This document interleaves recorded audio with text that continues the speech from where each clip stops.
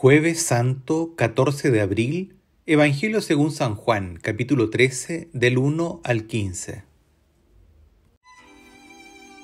Antes de la fiesta de Pascua, sabiendo Jesús que había llegado su hora de pasar de este mundo al Padre, Él que había amado a los suyos que quedaban en el mundo, los amó hasta el fin.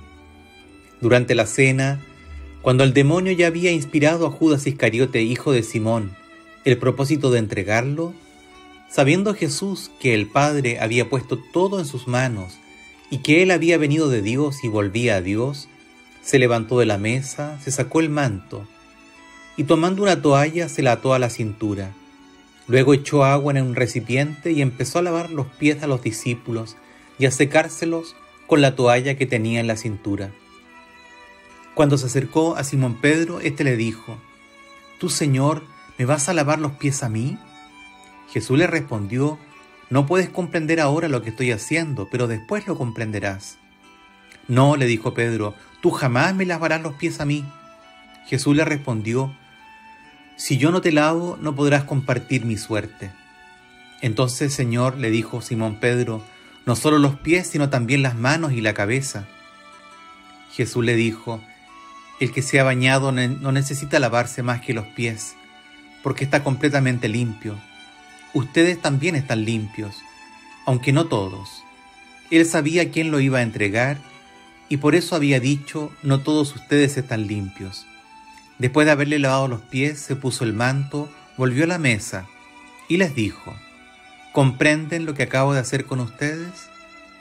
Ustedes me llaman maestro y señor y tienen razón, porque lo soy. Si yo que soy el señor y el maestro, les he lavado los pies, ustedes también deben lavarse los pies unos a otros. Les he dado el ejemplo para que hagan lo mismo que yo hice con ustedes. Palabra del Señor. Eco del Evangelio. El evangelista y apóstol Juan, quien estuvo presente en esa cena, nos habla desde sus ojos y su corazón los hechos ocurridos esa noche de amor y de espera de la pasión del Maestro y Señor. Jesús nos ha hecho el más grande de los regalos al darnos la Eucaristía. Hagan esto en memoria mía. Ella es misterio y presencia viva del Dios con nosotros, llena de misericordia para todos los que la celebramos.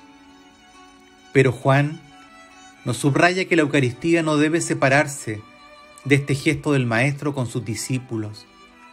Hay que dejar que Jesús nos lave los pies y acoger el mandato de hacerlos unos con otros. ¿Qué nos ha pasado? Que el gesto eucarístico del lavado de los pies no lo prolongamos en la vida. La Eucaristía se prolonga en la entrega y el servicio de unos con otros. Así lo pide el Maestro. Así lo ha hecho Él, que nuestra vida llegue a ser una misa prolongada. Nos queda aún mucho por entender este misterio y no reducirlo a una piedad individual e intimista. La presencia eucarística está para hacernos otros Cristos en el mundo, cada vez que comulgamos, para dar de comer a tantos hambrientos de consuelo, de pan, de cariño y dignidad ¿Cómo puedo prolongar la misa en mi vida? ¿De qué manera puedo yo ser un servidor de los demás?